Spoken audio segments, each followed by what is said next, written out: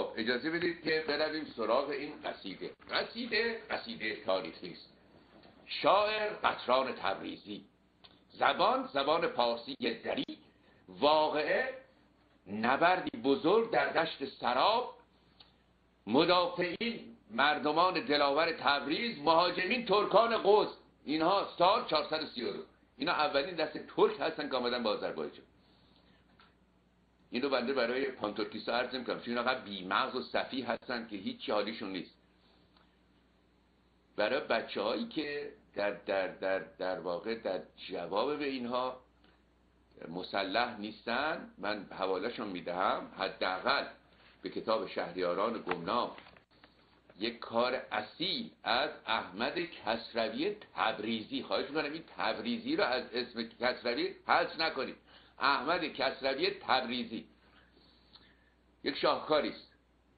تمام این آثار به هم ریخته بخش های گم شده ای که به طور پراکنده و اینجا و اونجا بوده جمع آوری کرده ارتباطات منطقی و علمی برقرار کرده. این قصیده قطران تبریزی اولین دسته ترکان هستن. ترک زبان اولین گروهی سال 432 دارن وارد تبریز میشن. تبریزی ترکان رو نمی‌خواهن چون آدم های بسیار وحشی خوناشام و دزد هستن اینها قوزها. بیشرافت ترین آدم ها بودن این قوزها. اون قصیده معروف انوری عبیوردی به پادشاه سمرقند. اگه خطا نکنم یک برگه تاریخی است بر جنایات اینها که می‌گوید در این خراسان از دست این قوزها چیزی نمونده. بکر جز در شکم مام نیابی یا نبینی دختر. یعنی این کارا رو می‌کردن این ترکای قوز حالا این آمدن آذربایجان. این ترکان مسعودی به اینا می‌گفتن محمودی و موجودی هم می‌گفتن چون مسعود و موجود فرزندان محمود بودن. اینها رو فرستادن به بارها عرض کردم خدمت یک سند خیلی بزرگی است برای اینکه زبان ترکی و ترکان که آمدن به آذربایجان. اینها رو فرستاده بودن به کرمان و ارشد اصفهان و به حاکم اونجا نوشتن که اینها رو بکشید اما اینها مردمان خیلی شجاعی بودن. بیشتر هم اسلحه‌شون تیر و کمان بود. داستان هاست که چگونه بعد در های منطقه آذربایجان عرض می‌کنم از جمله تاکتیک های کسانی که به اینها حمله می‌کردن بود که با شمشیر به کمان اینها بزنن. باری اینها آمدن در سال 432 وحسودان پادشاه تبریز آمده است. با مردم تبریز اینها رو شکست دادن و بسیار کشتار کردن از این ترکان قوز خب این شعر هم از یک شاعر تبریز هست از شاعر اصفهان و تهرانی و شیرازی هم نیست. قطران تبریزی. تبریزی شو خواهش می‌کنم فراموش نکنید. خب. بله. می‌گوید که خب.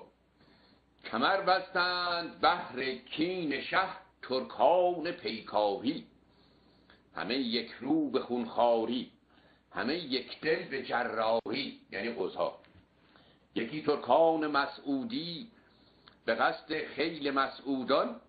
نهاده تن به کینکاری و دل داده به خونخواهی رسان کوه از انبوهی و چون ریگ از فراوانی. چو شیران از گران زخمی. چو دیوان از سبکساری. میگه خیلی شجاع بودن مثل زخمی که می‌زنن مثل شیر اما مغز و ملاش نداشتن درست حسابی. مثل سبکسار بودن. سبکسار یعنی صاحب دانش و فهم نبودن. وحشیگریش نمیرسونه دیگه.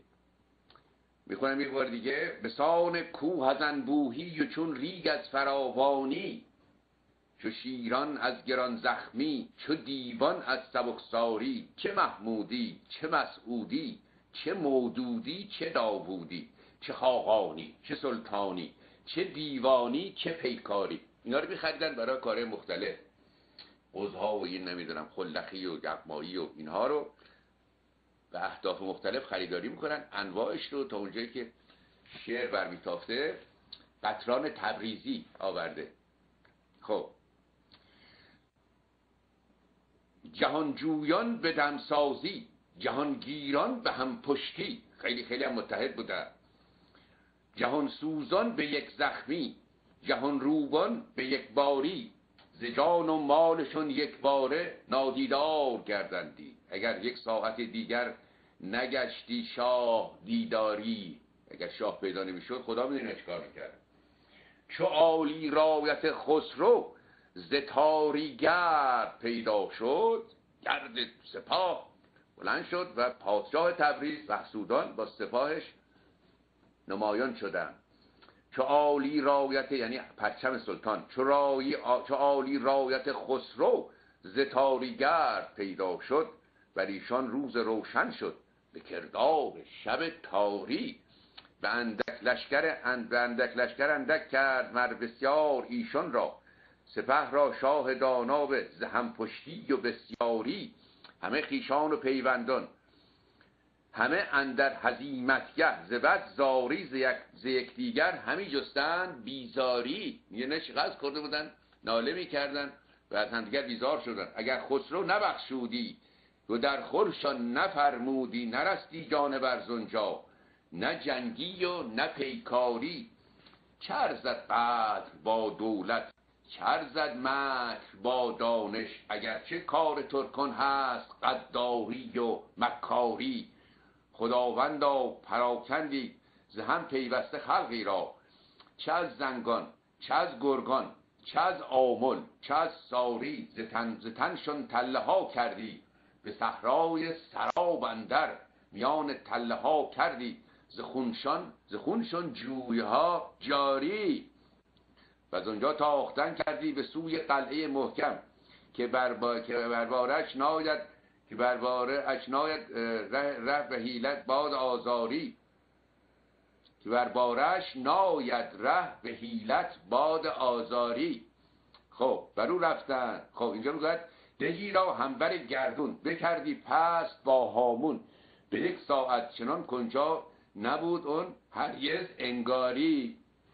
یه دژ هم داشتن اینها گرفته بودن. و وحسودان رفته از اونجا. اینا رو شکست داده دژ اینها رو خراب کرده. الی آخر خیلی خیلی قصیده بلندی است این قصیده در اوضاع احوال و مرحوم کسروی اینجا می‌گوید در آمدن قزان سومین بار به آذربایجان.